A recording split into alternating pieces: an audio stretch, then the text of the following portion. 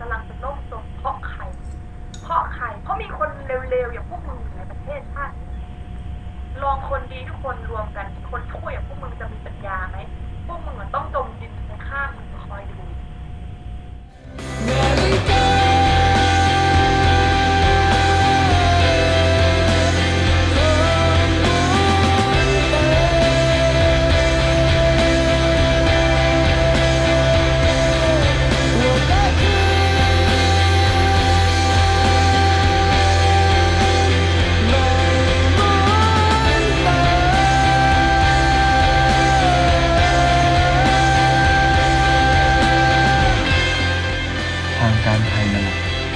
ที่ปล่อยพวกมันเข้ามา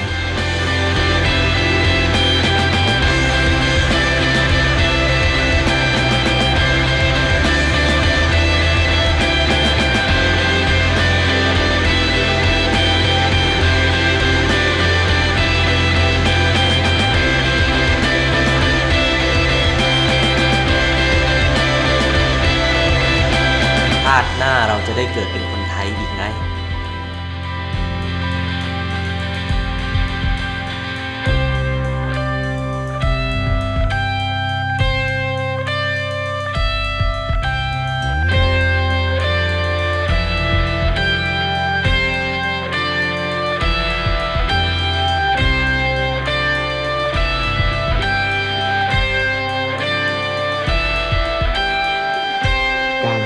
ีย